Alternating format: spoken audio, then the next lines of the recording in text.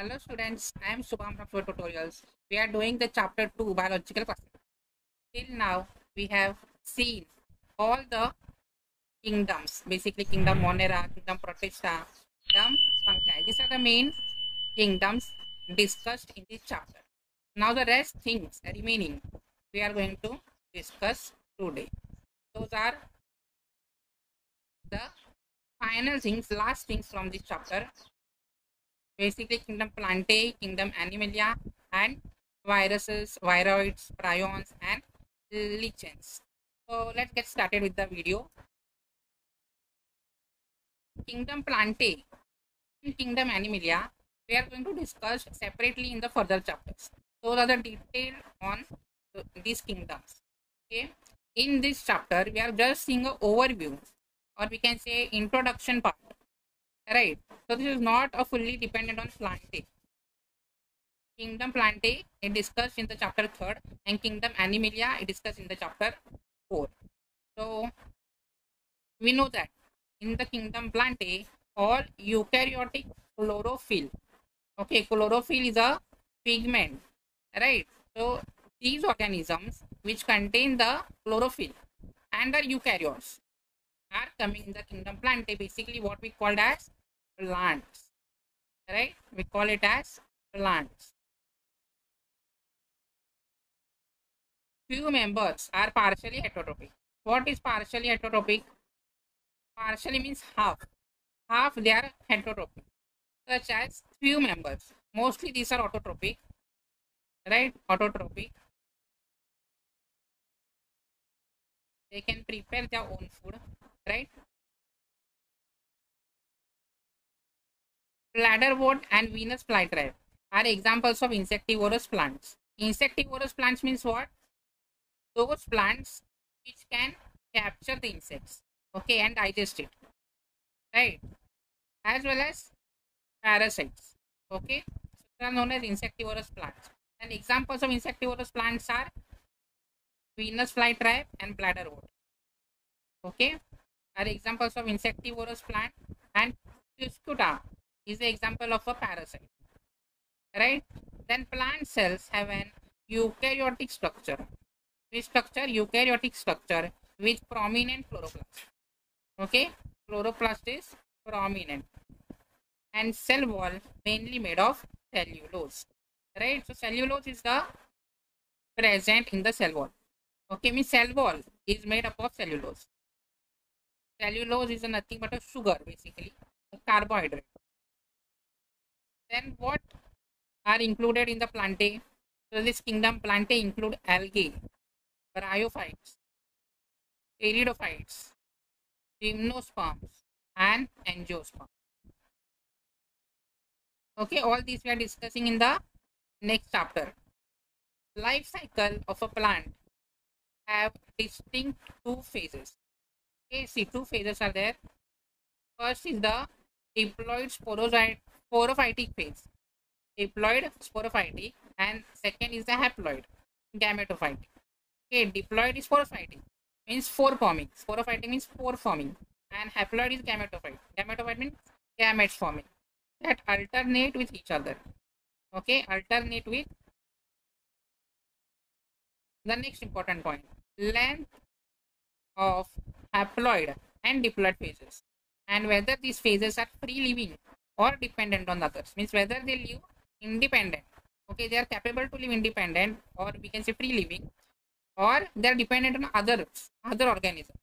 So this vary okay this is highly varying among different groups in plants. So this phenomenon okay this phenomenon in this concept which is alternation of generation dependent on organisms or they are free living okay we saw in the previous point that they alternate with each other two phases alternate with each other, whether they are free, free living or dependent on others. So this phenomenon is called alternation of generation. Very important terms. Okay, so these terms are very important. You have to remember. See, these are the examples basically. This is a bladderwort. okay and this is a venus flytrap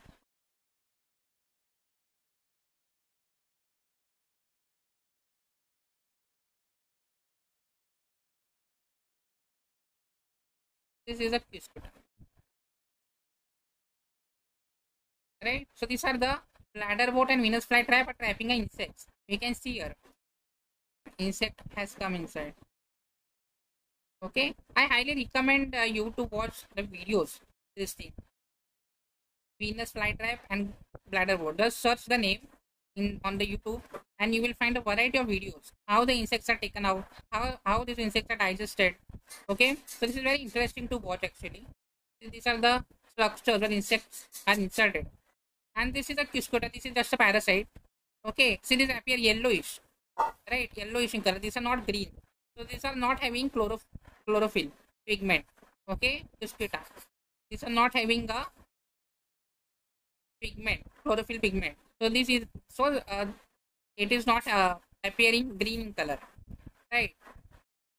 And thus it is called parasite because it is a rapidly growing. Now let's see some things on kingdom Animalia, not a brief. Okay, we know all the animals are there in the kingdom Animalia. So these are heterotrophic basically, heterotrophic eukaryotic organisms right that are multicellular. And the cell lacks cell wall. The cell wall is not present. Lacks cell wall.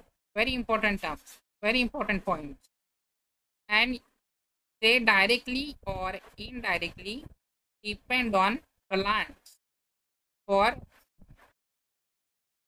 okay taking example of us.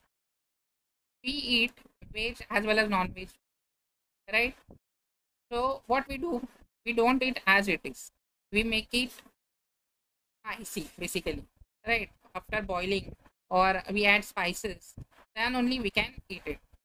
So like this only. Now then there are some animals uh, those live in forest. Those eat the plants directly. So this is known as directly or indirectly. Got it? Directly or indirectly depend on plants for okay animals it as it is. We make it. We see whether it is good or bad. We see uh, that it is well cooked right? Properly cooked. Then only we eat.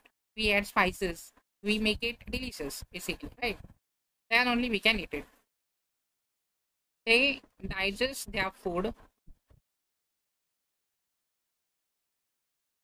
in an internal cavity right? Internal cavity animals digest their food store food. See store food as glycogen and fat. Right? The food storage is there. Digestion take place in the stomach. So that is internal cavity basically inside the body. And then after the digestion the uh, large food molecules are break, broken down into smaller food particles. Right? So small food particles means what? Basically proteins carbohydrates sugars are produced. And this sugars only are termed as glycogen in one form. Okay, basically glucose is stored as glycogen. Glucose is a sugar. Their mode of nutrition is holozoic. Holozoic means by ingestion of food. Ingestion of food means eating, right? They follow a definite growth pattern and grow into adults that have a definite shape and size. Right? Grow into adults. Growth take place into a complete, we can say organized structure is formed basically. Then higher forms. So elaborate sensory and neuromotor mechanism. Sensory means we can sense, right? We can feel the surroundings we can talk. Okay we can respond. So all this is because of the sensory and neuromotor mechanism. Suppose animal is coming towards us we will run away. That is also one type of sensory or neuromotor mechanism right? Most of them are capable of locomotion. Locomotion. What is locomotion? Locomotion is movement movement right? Then sexual reproduction is by copulation of male and female followed by embryological development. Okay means what? Physical contact between male and female take place and then there is a formation of zygote which will go into development. That is known as embryological development right? And again same it is written that various phyla of this Animalia kingdom. We will be discussing in the chapter 4 right? Now let's see some other organism basically viruses viroids prions and lichens. Okay? Now in this kingdom five kingdom classification of taker there is no mention of lichens. Uh, lichens were not mentioned as well as these viruses viroids prions these were not mentioned in the five kingdom basically these are a cellular organ organism a cellular. Okay see. Means what? A cellular means what? They are not present in cell. They have their unique structures basically. They have their unique structures. We can see that they require some cell for their growth or multiplication okay otherwise they are dead. Okay. cannot say they are completely dead. They are having their own genome. Genome means dna proteins. They are having their structures. So this is a structure. See they are having their head. Okay this is a virus structure. Tail is there. Tail consists of this polar sheath then this base plate and these are tails. Long tail fibers. Okay? Basically this is a bacteriophage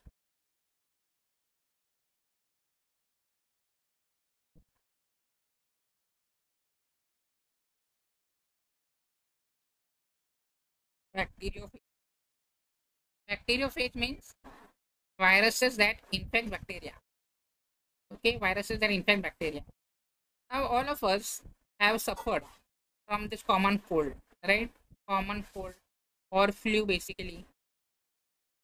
Fever and sneezing cough take place once in a year or twice right? Or we can say seasonal changes in the environment climatic changes. We get ill and doctor tells us yes this is a viral infection. Okay? It will go away take the medicine. Right? So what is this viral infection? Basically this is due to viruses. Okay? This is due to viruses. So know what effects viruses can have on us? Even if we do not associate with it with the surroundings condition. Means what? We know what viruses can cause by this example common cold common flu we are aware okay viruses did not find a place in classification since they are not considered truly living. See, not considered truly living. If we understand living as those organisms that have a cell structure, means what? If we see a criteria of living, the living organism should have a cell structure. Basically, a cell. Viruses are not having a cell, so they can be said as they are not truly living. Okay, so these viruses, the viruses are non-cellular organisms. Okay, non-cellular organisms that are characterized by having an inert crystalline structure. Okay, they are having their unique structure basically outside the living cell. Right? Once they infect the cell, they take over machinery of the host. Okay, means suppose everyone are familiar with the COVID-19 now, coronavirus, right? what it did basically? It takes over host. Host means what? Humans. If virus is infecting humans humans are the host. If virus is infecting bacteria bacteria are the host right? So host the organism in which virus is multiplying. So what it takes it is not having its own cell it is not having its own cell so it takes our cell and basically our machinery of making proteins, making DNA, right? So it is taking our machinery, take over the machinery of host cell to replicate themselves and killing the host. Since the viruses use our body to its multiplication and basically side by side killing us. Okay, causing us disease basically. So Viruses are living or non-living then? What we can say? Let's see. Virus means venom. Venom means poisonous fluid. Okay, let's see how this was discovered viruses. Dimitri Ivanovsky, 1992, recognized certain microbes as causal organism of the mosaic disease of tobacco. Okay, mosaic disease of tobacco. These were found to be smaller than bacteria because they pass through bacteria through filters. Means what? Suppose draw your, This is the filter. Okay, used by this Dimitri Ivanovsky for research purpose. Right, to find. So these are having pores.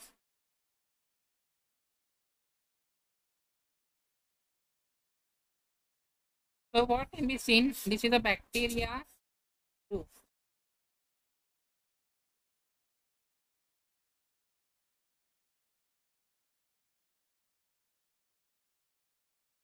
Bacteria proof filters means what? Bacteria is not able to pass. Bacteria is not able to pass. So bacteria will not pass, but these microbes which are smaller than the bacteria, do note why I am telling you this. Bacteria, these viruses are smaller than the bacteria, so they pass from this filter. Okay, okay. Bacteria did not pass, but viruses passed. So thus it was detected as viruses. Right. So thus viruses was found out. Uh, like there are some microorganisms which are even smaller than bacteria. And these were viruses causing the mosaic disease in tobacco. Right? So these are smaller than bacteria. Smaller than bacteria. Okay. Then the next thing. M.W. Beijerinck in 1898. What he did? Demonstrated that extract of the infected plant. Okay, the infected plant might be tobacco mosaic he took the extracts of the infected plant of tobacco and then he that plant that extract cause infection in healthy plants too the infected plant cause the infection in healthy plants too and name the new pathogen as viruses or virus and called the fluid. What he called the fluid? Contagium ium fluidum. Infectious living fluid. Okay? Then W.M. Stanley in 1935 third scientist showed that viruses could be crystallized. Okay? Crystallized and crystals contain largely of protein so these viruses are made up of proteins, basically. Right? Proteins are largely they are inert outside their specific host cell. Viruses are obligate parasites. Means what? Depending on the condition they live. Okay, they are parasites, but they require a proper environment for their multiplication. They require a cell basically. Is absent right? So thus obligate. In addition to proteins what these viruses contain? Viruses also contain genetic material. That could be rna or dna okay or dna not both. Okay not both. Either rna or dna so no virus contain both rna and dna a virus is a nucleoprotein c the genetic material is infectious the genetic material is highly infectious, right? In general, viruses that infect plants have single-stranded RNA. Very important. Infect plants. Viruses that infect animals have either single or double-stranded RNA or double-stranded DNA can also be present. Bacterial viruses are called bacteriophages. Viruses that infect bacteria right bacteriophages usually double stranded dna structure right double stranded dna the protein called called capsid. Protein called is called capsid, made up of small units called capsomeres. Protein basically protects the nucleic acid. This is for protection. These capsomeres are arranged in helical or polyhedral geometric forms. Right? Arranged in helical or polyhedral geometric forms. And these are the examples of that virus diseases. Mumps, smallpox, herpes, and influenza. AIDS in humans, acquired immunodeficiency syndrome. AIDS full form. This is in humans. This is also caused by a virus, virus known as HIV. Right? In plants, symptoms can be what are the symptoms in plants? Mosaic formation, leaf rolling, curling, yellowing, and vein clearing. Dwarfing as well as stunted growth. Okay. So we saw your picture of bacteriophage. So this head, head is basically made up of capsid. Okay, capsomeres. We can see here. This is a we saw it forms in a geometric structure. So this is a geometric structure. See, this is a tobacco mosaic virus. Tobacco mosaic virus, also known as TMV. Okay, TMV. See, this is the capsid arrangement. Okay, and this is the RNA component. Like this. So this is capsid, uh, capsid made from capsomeres. Capso Now let's see about viroids. What is difference between viroids and viruses?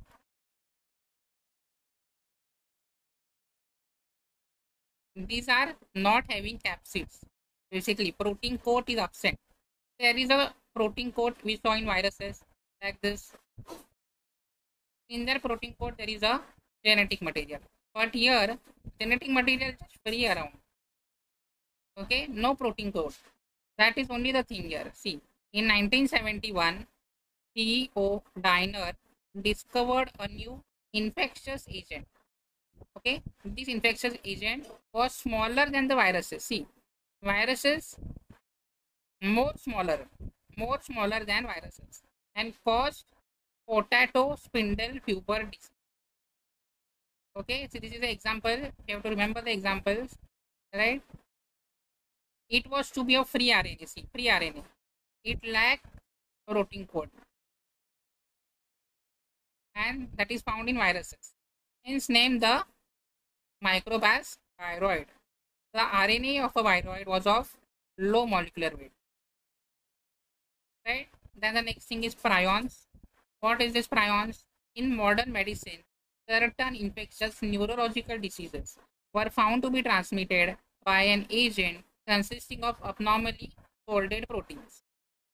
Okay, means the proteins, see, proteins means what? Are the proteins.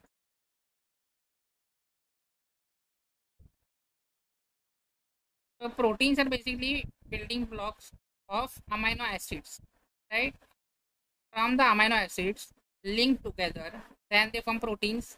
But proteins are not like this linear okay they are folded like this they are folded. So when they are abnormally folded see abnormally folded means what? Folded but not normally. Then these diseases were caused okay by the abnormally folded protein. Agent an agent consists so those agent were consisting of abnormally folded protein and that agent was called as prions okay which was smaller sorry similar in size okay similar in size to viruses the most notable diseases caused by the prions have are bovine spongiform encephalopathy. Okay, you have to remember the names uh, as an example. Bovine spongiform encephalopathy, BSE, commonly called mad cow disease in cattle. Okay, this is seen in cattle. And its analogous variant. Analogous means similar. Okay, similar variants CR, Jacob disease. Okay, C, CJD in humans. So this is in humans. And this is in cattle. Right, so this is about prions. Now the next thing is lichens. Lichens. Lichens are what? Symbiotic association. Symbiotic means both. Suppose this is organism A, this is organism B.